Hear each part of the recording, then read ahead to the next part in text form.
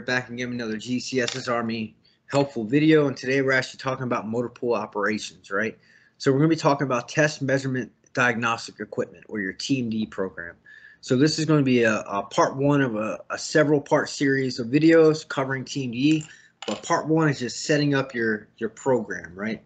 So what is TMD, right? So this is all the equipment that we use on a daily basis that requires some type of calibration or service interval, right?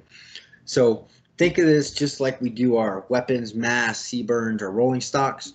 We have all these intervals set that we must perform a service, right? So some equipment that requires Team TMD would be like your electronic test equipment, your GRIMS, uh, your pass machine for your CBRN, your torque wrenches, your multimeters, some of the MSD V3 test kits um, require TMD. Most importantly is your small arm gauges, right? So if you are a unit that is gauging weapons, make sure that your gauges are calibrated and they're good to go. At the unit level, your 50 cal headspace and timing, right? Make sure that that stuff is enrolled in TMD and is calibrated. So a few regulations or technical bulletins that cover TMD is uh, AR 750-43, TB 750-25, and AR 750-1. Now, just like any other piece of equipment in the Army, AR 750-1 states that even TMD equipment should get PMCS. All right, so make sure that you're filing those 5988s in accordance with ARAMS. So to set up a TMD program, right? So what do you need to do? So TMD program, one, like any other program in the uh, maintenance world, requires additional appointment orders. You should always identify a primary and alternate in the event that one cannot pick up or drop off so that you're off the delinquency rate, all right? So keep that in mind. Two, you should be trained. So you can actually go to OHMS and search TMD coordinator and you can actually take the TMD coordinator course. And if you're highly motivated, you can probably get it done in two to three days. So some ways to manage your TMD program. So these are some tips that I've used that have worked for me in the past. One, I add them to my DTMS training schedule, right? Just like we add our rolling stock and our weapon services to our DTMS, or we're supposed to, put these on there. Just like your small arms, uh, small arms services. If it's due on the 28th, come the 29th, it's delinquent, right? So make sure you plan ahead and plan accordingly, right? Two, just like our rolling stock, you can do maintenance plans for your TMD. I highly encourage it. Um, it's a way for you to track it. So when the, your battalion brigade pulls your data, it can they're able to identify, hey, they're tracking their TMD. So one area in TMD that normally gets forgotten is the CBRN, right? And your commo equipment. Make sure that if you have equipment that is identified in those areas, it is enrolled in TMD.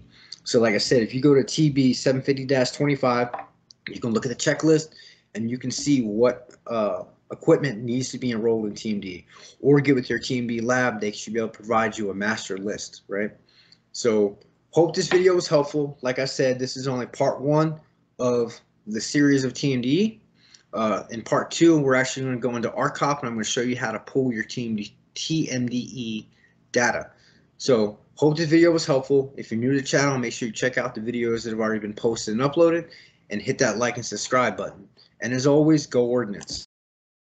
Here back with our part two of our series on TMD. So today I'm going to teach you guys how to pull your data reports from ARCOP. All right. So if you've ever used ARCOP before, there is a, so much data that you can actually pull in ARCOP, but to me as a maintenance manager, it is not at times user friendly. All right. So without further ado, let's jump into ASIPS. So just keep in mind, in order to do this, you will need an ASIPS account and you're going to have to go to the app warehouse and get the ARCOP. All right. So once you click on the ARCOP, this main screen will come up right here, right? So there is a lot you can do within ARCOP. We're actually going to do a series on all of ARCOP, but for today, we're just going to do TMD readiness metrics. You'll click on that it's going to bring open the screen.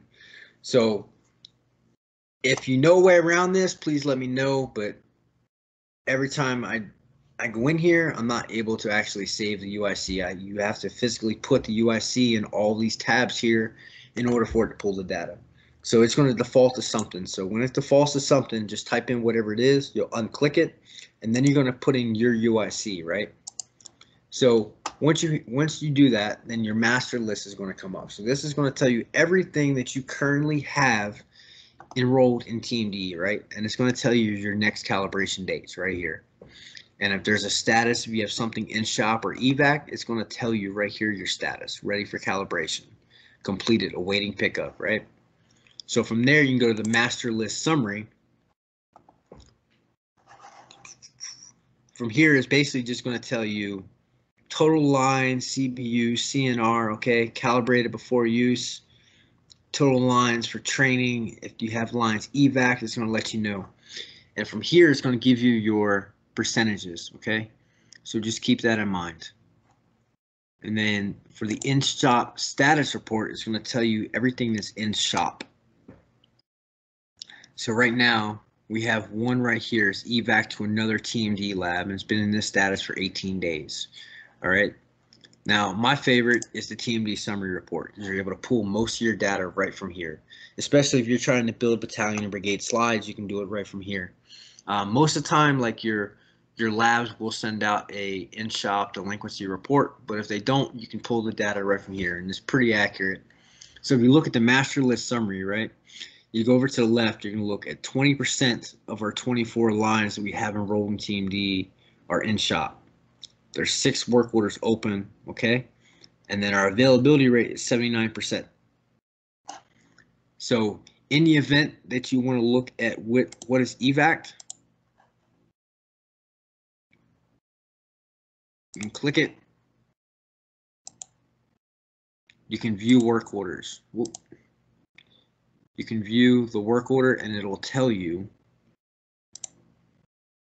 what equipment is actually evac. Come on.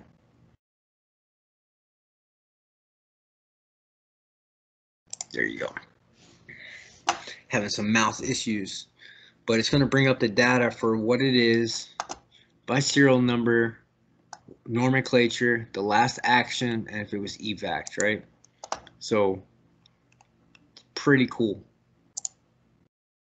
And then, like I said, if you go back to the TMD summary, you can pull all your data from here. And what's nice is at the top here, it'll tell you 61 and 90 days due. So this is your projection, right? So within the next 90 days, you're going to have three items that are due for calibration.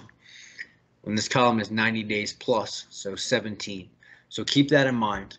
So I hope this video was helpful. Like I said, there's a lot you can do in here. The only downfall to this is, like I said, every tab you go into, you have to load your UIC. Uh, unless, if you guys know a way to actually save your UICs and data here, please share in the comments down below. But I hope this video was helpful. If you're new to the channel, make sure you check out the rest of the videos that have been posted. And like always, hit that like and subscribe button and go Ordnance. First Class V here, back with another video on maintenance operations and today we're going to close out our TMD series. So today I'm going to teach you guys how to export your data from ARCOP. Okay, this is part three of the series and the final video. So if you're new to the channel, make sure you check out the previous videos, hit that like and subscribe button and leave some comments down below. If you're looking for a certain topic to cover, like I said, just leave a comment and we will work it. So without further ado, let's jump into ARCOP. So in the previous video, I showed you how to get to ARCOP and how to navigate the TMD portion. So today, I'm to teach you guys how to export your reports here. So ARCOP is pretty cool because it gives you multiple uh, multiple different options when exporting data, right? So if you were to go up here to download for the master list summary, right? We can either do it by image, PDF or PowerPoint. So if you're trying to put a PowerPoint presentation uh, presentation together on like battalion or brigade or just you just want the data in a PowerPoint format, it's going to do it for you. You don't have to go in there and actually put it in Excel and you know cut and paste and do all that stuff, right? It's going to give you your PowerPoint. So we're going to do it in PDF version today. So you can have a choice of specify sheets from the dashboard, specify sheets from the workbook, so we're going to do it like this, and you can pretty much pick what you want to do, right? I want it in landscape, and I'm going to hit create PDF. So what it's doing now is creating the PDF for the data that we pulled. So let's open it and see what we got here.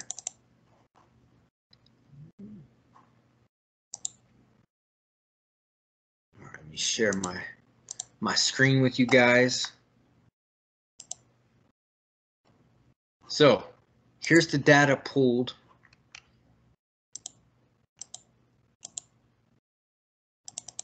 in a PDF format. All right.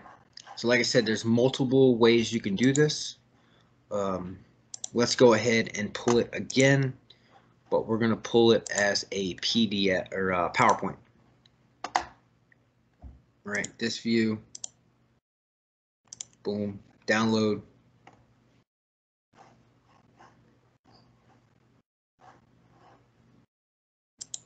Open. Let me share my screen here with you and show you what it looks like.